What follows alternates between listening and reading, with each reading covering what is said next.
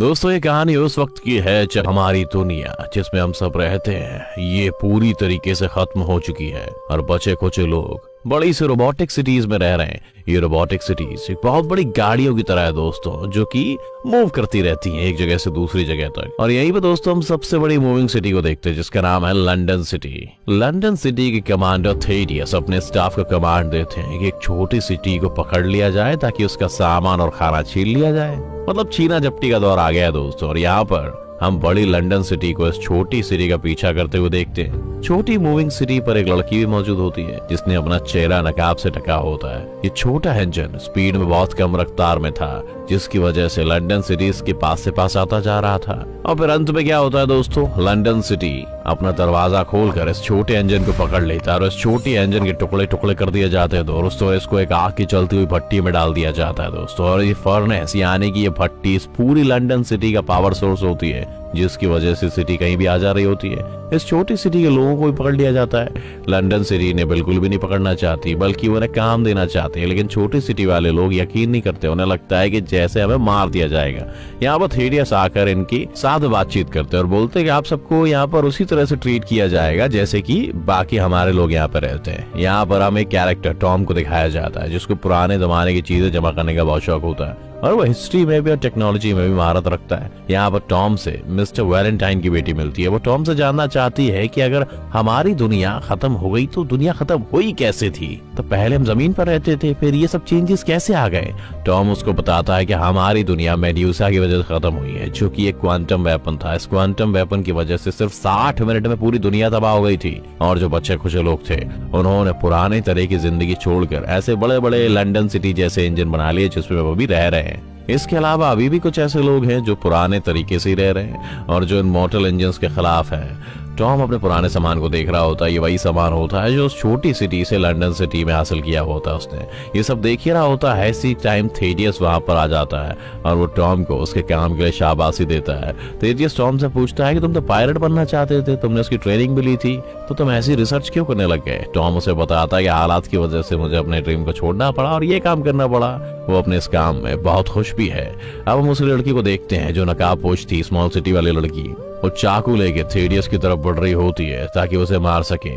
Tom उसको देख लेता और उसे रोकने की कोशिश करता है, लेकिन कामयाब नहीं हो पाता और वो मास्क वाली लड़की थेडियस को चाकू मार डालती है। चाकू मारते लड़की कहती है कि ये सब मेरी माँ का बदला था, हेस्टर शॉ, जिसका नाम था। नाम सुनते ही थेडियस परेशानी से उस लड़की को देखता है। इस लड़की का नाम हेस्टर शॉ होता है। ये दोबारा थेडियस को मारने की कोशिश करती है दोस्तों, लेकिन इतनी देर में टॉम पहुँच जाता है और उस लड़की को रोक लेता है। और ये लड़की टॉम को धक्का देकर वहाँ से भागने लगती है। टॉम भी इसका पीछा करता है और थेडियस भी चाकू लगे हुए उसकी लड़की के पीछे चला जाता है। वो लड़की भागते हुए स्लिप होकर एक जगह पर गिरने लगती है, लेकिन टॉम उसी वक्त पहुँच के उसका हाथ पकड़ लेता है और उसे गिरने से बचा लेता है। वो लड़की टॉम को बताती है कि जो थेडियस है ना, ये ऐसा नहीं है जैसा दिखता है, ये बहुत ही कमीना इंसान है। उसने मेरी माँ को भी मारा था और ये कहते ही वो अपना हाथ छुड़वाती है और उस पुणे से कुएँ के अंदर गिर जाती है, जहाँ से सारा गंद निकल के बाहर जा रहा होता है। यानी कि उस फर्नेस का वेस्ट मटेरियल इस जगह से निकलकर इंजन से बाहर जा रहा होता है और ये लड़की भी वहीं से बाहर निकल जाती है।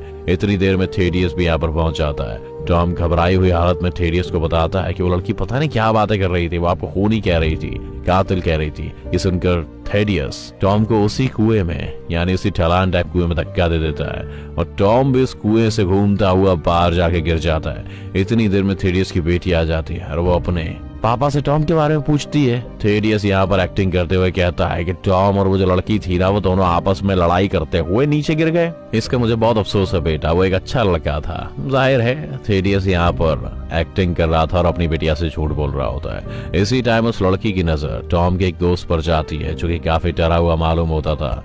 इसको शक होता है कि जैसे इसने कुछ देखा हुआ है कुछ जानता है। अगले सीन में थेडियस एक हवाई जहाज़ को भेजता है, ताकि वो कंफर्म कर सके वो लड़की और टॉम दोनों मर चुके हैं या ज़िंदा हैं। वो जहाज़ देखता है, लेकिन उन्हें कुछ मिलता नहीं है, क्योंकि ये दोनों पहाड़ी चोटियों में छुपे हुए होते हैं। एस्टर अपना चाकू निकाल कर टॉम को धमकी देती है कि तुमने अगर तुम मुझे ना रोका होता ना तो मैं थेडियस को मार देती। एस्टर यहाँ से जाने लगती है, लेकिन टॉम उसको रोकता है उससे हेल्प माँगता है। वो कहता है की मैंने अपनी पूरी ज़िंदगी लंडन सिटी में गुजारी है। मैं वापस जाना चाहता हूँ और मैं पोल खोलना चाहता हूँ। उसकी हकीकत सब लोगों के सामने लाना चाहता हूँ। ये बातें सुनकर हेस्टर भी मान जाती है। यहाँ पर हम थेडियस को देखते हैं। वो अपनी सीक्रेट एनर्जी प्रोजेक्ट पर काम कर रहा था। यहाँ पर ये एनर्जी सोर्स के लिए फ्यूजन सेल्स का इस्तेमाल कर रहा था। ये पूरा सीक्रेट प्रोजेक्ट सब लोगों से छुप के हो रहा था दोस्तों। यानी कि थेडियस के सीनियर ऑफिसर्स को भी इस बारे में कुछ नहीं पता था कि थेडियस ऐसा कुछ कर रहा है। और यहाँ पर सिक्योरिटी भी बहुत टाइट थी। थेडियस के अलावा यहाँ पर कोई दूसरा शख्स जा ही नहीं सकता था, लेकिन थेडियस को सिर्फ़ एक ही डर रहता था कि कहीं एस्टर फिर से उसके प्रोजेक्ट में रुकावट ना बन जाए। तो थेडियस के साथ काम करने वाली डॉक्टर उसको ये सलाह देती है कि तुम एक काम करो, तुम समुन्द्र के बीच में मौजूद एक कैदी से मिलो। वो मॉन्स्टर है। वो हर वक्त हेस्टर शो का नाम लेता रहता है। वो उसको मारना चाहता है। थेडियस तुरंत इस बात को पसंद कर लेता है और जाके उस मॉन्स्टर से मिलने लगता है, जिसकी आँखें हरे कलर की होती है और बहुत ही डरावनी होती है दोस्तों। थेडियस उस जेल पर हमला कर देता है और इसी हमले से वह मॉन्स्टर भी आज़ाद हो जाता है और हेस्टर को मारने के लिए उसकी तलाश में चला जाता है। हेस्टर और टॉम बहुत ही पुरानी ब्रेड खा रहे होते हैं क्योंकि उनके पास खाने को कुछ और मौजूद ही नहीं होता है। खाना खा के दोनों सो जाते हैं। कुछ बड़े मोटर इंजन की आवाज़ से हेस्टर की आँखें खुल जाती हैं। वो देखती है कि टॉम कुछ इंजन से हेल्प मांग रहा है। लेकिन टॉम नहीं जानता था कि वो सिटीज़ लोगों का शिकार करती हैं और उन लोगों को कब्जे में ले लेती हैं। वो शिकारी सिटीज़, इन पर हमला कर देती है। लेकिन उसी वक्त एक और सिटी जो सेंटीपीड की तरह होती है, वो इनकी जान बचा लेती है। लेकिन इनको बचाने वाले लोग इनका बहुत ख्याल रखते हैं और इनको चाय पीने के लिए भी देते हैं। हरी हरी चाय, पता नहीं कैसी चाय यार। दूसरी तरफ़, लॉर्ड थेडियस की बिटिया को लगता है कि उसके पप्पा की जान खतरे में इसीलिए वो अपने टॉम का जो दोस्त था ना, वो जो ऊपर खड़ा होकर देख रहा था, झाँक रहा था, उसी से जाके मिलती है। ये वही दोस्त है जिसने टॉम और हेस्टर को उस कुएँ से गिरते हुए देख लिया था दोस्तों। थेडियस की बेटी से पूछती है कि तुम कुछ ना कुछ जानते हो, तुम मेरी हेल्प करो, मुझे कुछ बताओ। टॉम का दोस्त कहता है कि तुम क्या करोगी जान के? वो कहती है कि मेरे पिता की जान को खतरा है। वो दोस्त कहता है कि अगर किसी की जान को खतरा है ना तो उन सबको है तुम्हारे पिता से। क्योंकि तुम्हारे पिता ने टॉम को धक्का मार के नीचे गिराया था और अपने रास्ते से हटा दिया था। इसके अलावा टॉम का दोस्त ये भी बताता है कि तुम्हारे पिताजी एक सीक्रेट वेपन बना रहे हैं, जिससे वो उन सिटी पर अटैक करेंगे, जो लोग हमारी तरफ़ मोटर इंजन में नहीं रहते हैं, बल्कि वो लोग पुराने तौर तरीकों के मुताबिक ज़मीन पे रहते हैं ट्रेडिशनली और वो उनकी दीवारों को तोड़ना चाहते हैं वेपन बना के, क्योंकि तुम्हारे पिता थेरियस को लगता है कि उन सिटीज़ में बहुत खाना है, बहुत हथियार है, बहुत सारा फ्यूल है तो इस वेपन की मदद से हम उनको हरा सकते हैं। ये सब सुनकर थेडियस की बेटी बहुत ही ज़्यादा डिसअपॉइंट हो जाती है बेचारी। फिर से हम एस्टर और टॉम को देखते हैं। वो लोग देखते हैं कि जिन लोगों ने उनकी हेल्प की थी, वो उनको सही रास्ते पर लेके नहीं जा रहे होते हैं। उन्हें शक होता है तो वो इंजन का एक सीक्रेट दरवाज़ा खोलते हैं और कूदने का सोचते हैं, लेकिन हेस्टर की टांग जख्मी है, इस वजह से वो कूद नहीं पाएगी। वो उससे कहते कि तुम कूद जाओ, लेकिन टॉम कहीं ना कहीं हेस्टर को पसंद करने लग गया था, इसलिए वो भी नहीं कूदता है। वो कहता हम साथ ही रहेंगे। अब इनकी हेल्प करने वाले लोग इनको ऐसी जगह पर ले आते हैं, जहाँ पर ज़िंदा लोगों की बोली लगाई जाती है, यानी कि उनको बेचा जाता है। हेस्टर शॉ की बोली लगी रही होती है। और एक रैंडम इंसान उसको खरीदने वाला होता है कि उसी टाइम लंदन सिटी की most wanted criminal Anna Fang आ जाती है वहाँ पे। बेसिकली एना लंदन और थेरियस की पॉलिसीज़ के खिलाफ होती है, इसीलिए वो मोस्ट वांटेड है। और एना फैंग यहाँ पर बहुत सी गोलियाँ भी चलाती है और सब लोगों को मार कर एस्टर और टॉम की जान बचाकर उन्हें वहाँ से भगा ले जाती है। लेकिन उसी टाइम वो ग्रीन आइज़ मॉन्स्टर भी वहाँ पर आ जाता है। और यहाँ पर हम ये भी देखते हैं कि हेस्टर शॉ उस मॉन्स्टर को बहुत अच्छे तरीके से जानती है, लेकिन अभी तक ये रिवील नहीं होता कि कैसे जानती है। काफ़ी मुश्किल के बाद एना फैंग उन दोनों को उस मॉन्स्टर से भी बचा लेती है और अपने जहाज़ में बिठा कर आगे चल पड़ती है। अब अपने जहाज़ के सफ़र में एना से पूछती है कि तुम उस मॉन्स्टर को कैसे जानती हो? वो तुम्हें मारना क्यों चाहता है? एस्टर बताती है कि इसी मॉन्स्टर ने, जिसको मैं श्राइक कहती हूँ इसी ने मुझे पाला, बड़ा किया, मेरा ख्याल रखा। मेरी माँ को जब थेडियस ने मार दिया था ना तो मेरा कोई सहारा नहीं था और मैं इसी ग्रीन मॉन्स्टर को मिल गई थी। इसने मुझे पाला। मेरा ख्याल रखा, मुझे खाना वाना खिलाया, लेकिन मैं फिर भी काफ़ी उदास रहती थी और मेरी उदासी को देखते हुए मॉन्स्टर ने मुझसे वादा किया कि मैं तुम्हें भी अपनी तरह बना लूँगा, ताकि तुम्हें कोई बुरी यादें ना आए। तुम्हें कोई मेमोरी ना हो, दुख ना रहे, और तुम मेरे संग वादा करोगे, तुम मेरी तरह मोस्टर बन जाओगी, ताकि हम हमेशा ऐसे ज़िंदा रह सके। उससे वादा कर लेती है, लेकिन जब उसे कुछ दिन पहले पता चला होता है कि थेडियस वैलेंटाइन अभी ज़िंदा है वो कहाँ पे है तो वो उसे मारने का इरादा करके उस मॉन्स्टर के पास से भाग जाती है। यही वजह थी।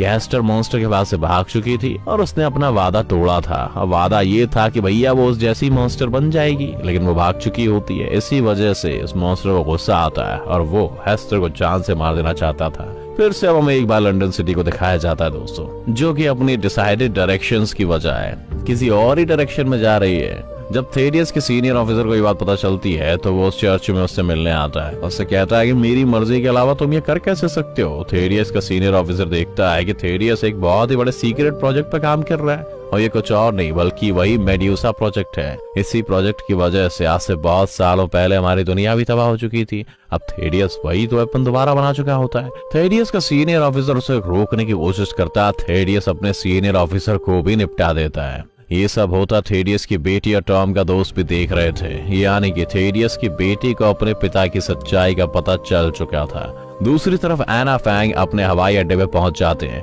और अपने जहाज़ को यहाँ पर लैंड कर देते हैं और वो अपने साथियों से मिलती है और टॉम और हेस्टर को भी उनसे मिलवाती है। इनको पता चलता है कि लंदन सिटी हमारी तरफ़ आ रही है बहुत ज़्यादा स्पीड से। यानी कि वो हम पर अटैक करना चाहते हैं। एना फैंग ने बताती है कि थेरियस के पास अब मेड्यूसा सिस्टम भी है तो हमें डरने की बहुत ज़रूरत है। उसे रोकने का एक ही तरीका है कि हम उस सिस्टम को क्रैश कर दें, जिसका अभी तक हमको कोई हल नहीं मिल पाया है। हेस्टर शो अपने पास्ट को याद करते हुए बताती है कि उसकी माँ और थेडियस बहुत अच्छे दोस्त थे।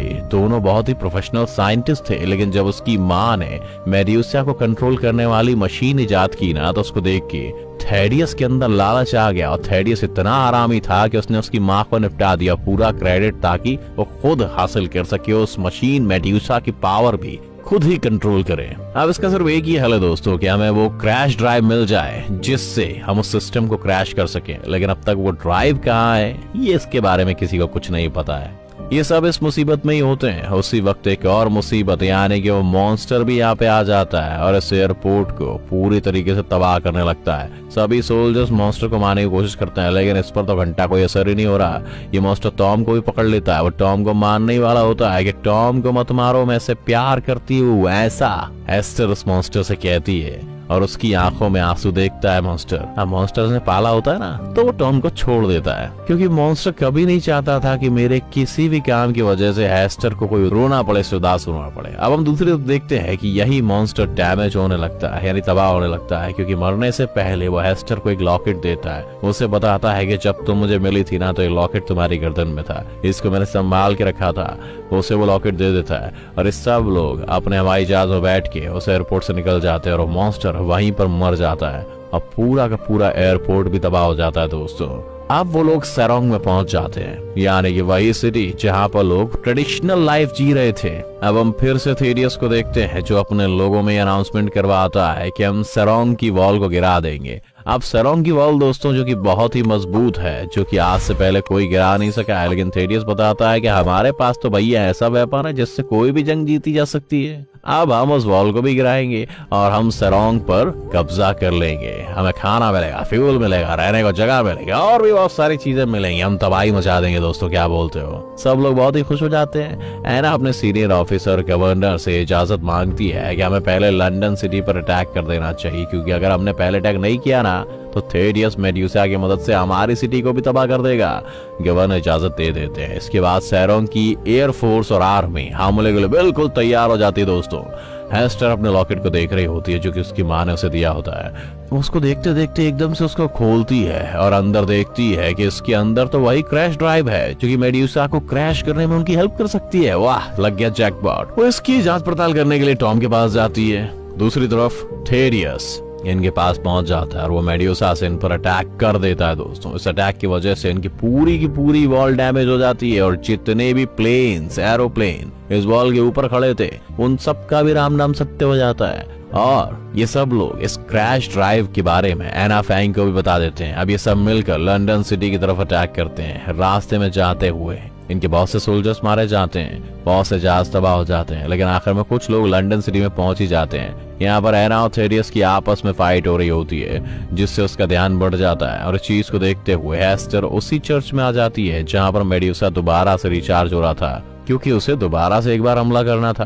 और वो काफ़ी मुश्किल के बाद हेस्टर उस वेपन यानी कि मेड्यूसा को अपनी माँ की तरफ़ से दी हुई यूएसबी लगाकर उससे क्रैश कर देती है। यानी अब ये सिस्टम शट डाउन हो चुका था। दूसरी तरफ़ लड़ाई में एना फैंग काफ़ी हद तक घायल हो जाती है। और वेस्टर से कहती है कि तुम यहाँ से भाग जाओ, लेकिन लड़ाई में एना फैंग की मौत हो जाती है। थेडियस चर्च से बाहर निकलता है और उसको अपनी बेटी मिलती है। वो उससे कहता है कि चलो हम यहाँ से भाग जाते हैं। लेकिन उसकी बेटी उसकी सच्चाई जानती थी और वो उससे कहती है कि मैं खूनी इंसान के साथ नहीं जाना चाहती। वो खुद जाने लगता है। वो जा रहा होता है कि हेस्टर थेरियस का रास्ता रोक लेती है, क्योंकि वो उससे बदला लेना चाहती थी। लेकिन थेरियस यहाँ पर एक सच बताता है कि हेस्टर, तुम मेरी बेटी हो। तुम्हारी माँ और मैं बहुत ही क्लोज थे। हमारे बीच में संबंध बनाओ। तुम पैदा हो गई थी। ये सुन के एस्टर को बहुत शौक लगता है। दूसरी तरफ़ थेरियस की बेटी लंदन सिटी के कंट्रोल रूम में जाती है, क्योंकि इनकी जो मोटल सिटी थी ना, वो बहुत तेज़ी से उस वॉल की तरफ़ बढ़ रही थी, जहाँ पर बहुत सारे ज़िंदा लोग थे। ये इसको रोकना चाहती है, लेकिन तमाम कंट्रोल सिस्टम तमाम हो चुके हैं और ये इसको रोक नहीं पा रही थी। ये टॉम की हेल्प लेती है। टॉम अपने जहाज़ में बैठकर लंदन सिटी का पावर सोर्स को तबाह कर देता है, यानी वही भट्टी जहाँ से लंदन सिटी को पावर मिल रही थी, आगे चलने में और आगे बढ़ने में। ताकि ये रुक जाए। अब ये उसको पूरी तरीके से तबाह कर देता है। टॉम देखता है कि थेडियस और हेस्टर में अभी भी बहुत लड़ाई चल रही है। और टॉम इनकी तरफ़ आता है थेडियस को बचाकर अपने साथ ले जाता है और हेस्टर वहीं पर नीचे गिर जाता है। लेकिन जब वो देखता है कि जहाँ पर वो गिरा होता है, लंदन सिटी बिल्कुल उसी की तरफ़ आ रही होती है। वो उसको देख के अपनी आँखें बंद कर लेता है और लंदन सिटी उसके ऊपर से गुजर जाती है और यहाँ पर थेडियस का भी टाइम टाइम फिस हो जाता है और उसके साथ ही शहर भी रुक जाता है। यानी कि अब वो आगे मूव नहीं कर रहा होता है। लंदन सिटी के बचने वाले लोग सैरोंग सिटी से शेल्टर मांगते हैं और सैरोंग सिटी के गवर्नर उनका अभिनंदन करते हैं। और दूसरी तरफ़ टॉम और हेस्टर दोनों एक दूसरे से गले मिलते हैं और इसी के बाद वो अपने जहाज़ पर बैठकर सैर करने के लिए निकल जाते हैं और घूमते हैं एंजॉय करते हैं दोस्तों। और एक दूसरे से गले मिलते हैं। इस मूवी की इसी के साथ एक हैप्पी एंडिंग हो जाती है। आपको ये मूवी कैसी लगी? ये ज़रूरी नहीं है, लेकिन हमारे वीडियो को लाइक या कमेंट या शेयर ज़रूर कर दें। Thanks for watching this video